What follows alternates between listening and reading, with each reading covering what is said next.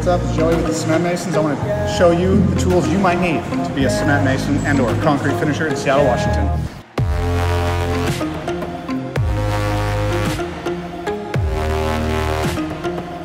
First thing you're going to want and need is your PPE, your personal protective equipment. Hard hat, safety glasses, boots, mud boots,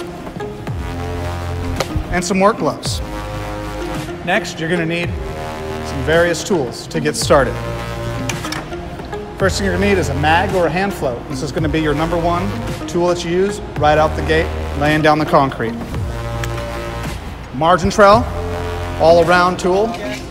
You'll find them hanging in the back pocket, most finishers.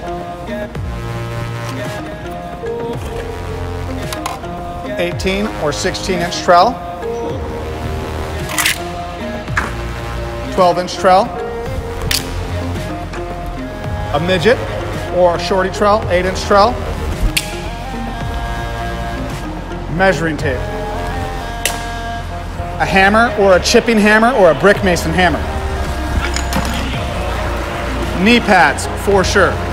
These are gonna save your knees and your future. These are the tools you may need. Make sure when you buy mud boots, don't buy the cheapest unless that's all you can afford. That goes the same for all these tools. Don't buy the cheapest stuff they make. Buy something that's going to be reliable, that's going to last you and grow with you in your career. And make sure you bring all your tools out in a bucket so you have an easy way to carry it. Another benefit to that bucket at the end of the day, if you got a dash brush or they got one on site, be a great way to put some water in that bucket and clean up all your tools. These are the tools you're going to want to bring, and these are the tools you're going to want to have to start being a cement mason. And your tool selection will only grow from there as you grow in your career.